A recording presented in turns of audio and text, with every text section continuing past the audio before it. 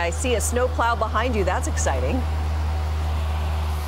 Yeah, it is. It's as closest to the action as we've gotten to a snowplow all morning. It's just a private one. We're here in Renton at the Maplewood Golf Course, just off of Renton Maple Valley Road here. Um, the snow is actually taking a little bit of a break, but it is still coming down. And like we've been saying all morning, it's definitely that more wet. It, it definitely feels a little bit of that wetter snow. It's a little bit fluffier. Um, so I, it's definitely making the roads a little bit more slick. We actually haven't seen too many cars on the roads. People are really kind of staying home. I heard you say that maybe earlier, and uh, we can attest to that here in Renton. People are staying home unless they really have to go out. We just spoke with a woman that was trying to make her way out of the neighborhood, getting gas before she headed out to work. Take a listen to what she had to say.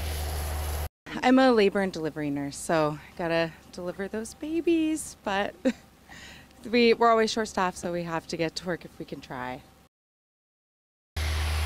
So just a reminder, if you really don't have to go anywhere, don't. Of course, people delivering babies need to. Now, we just saw a bus go down. I don't know if you saw that bus, but we just saw a bus. It's another reminder that King County Metro is actually operating on reduced bus routes for their emergency network. They're reduced to about 60 buses down here. So something to keep in mind. Go slow. Don't leave the house if you don't have to. And if you do, check the bus routes to make sure your particular bus, bus is running. That's what it's looking like here in Renton. I know Amy is further up north in Lynnwood. I believe. Amy, where are you and what's it looking like?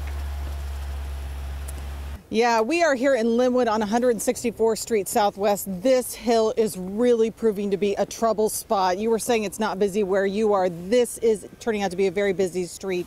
This Camry you're seeing back up, it's actually struggling to get up this hill. And then just behind it, you see another car with its flashing lights on. It's actually stuck in a car in front of it. It appears that person's got a cable and they're trying to pull that car up.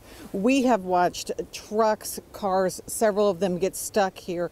That's because this this hill is difficult. It's pretty steep and a lot of cars by the time they get up here they're losing their momentum.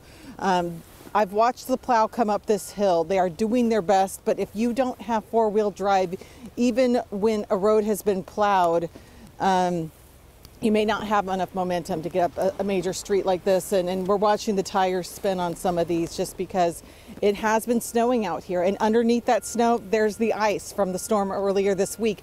This snow is wetter, and we've had a bit of a rain and snow mix, but it's it's, un, got ice underneath and the conditions out here are just not good. If you don't have four-wheel drive you're going to struggle and it's causing some dangerous situations out here. So something really to be aware of. Lynnwood police have even tweeted to be careful out on the roads this morning and it's it's causing some problems out here. We just had some pedestrians walk through uh, they were actually walking out in the roadway to try and avoid some of this and somebody almost hit them. So please be careful out here, even on some of these major roads that plows have gone down because um, this person's actually driving over a median now. So you have to be careful. Back to you, Mimi.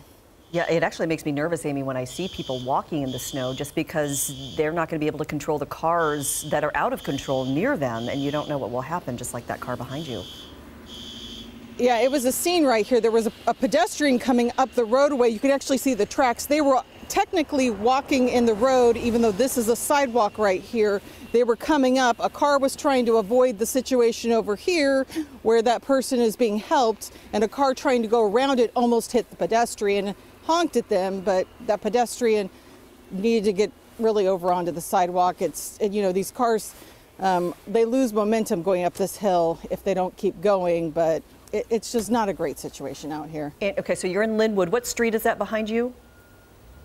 164th Street Southwest. Okay. We're near Ashway. It's really close to I-5. There's a big park and ride right here that is yeah. very popular. This is a, a, pretty major thoroughfare, and you know, for people who do have to get to work, it's an important way to get through. And some people, I think, know that this does get plowed, and we've seen a plow go down it. You can tell it's been worked on, but if you don't have four-wheel drive, uh, you're going to struggle to get up this. And the snow just keeps falling, so that uh, doesn't help. All right, Amy, thank you very much for that report. And check out the size of the flakes that fell in Seattle around 4 o'clock this morning, right outside of our studios. Yep, big, big fat flakes. Actually, really pretty if you don't have to be out and driving in it. We actually even saw some icicles forming on the fountain outside of our building.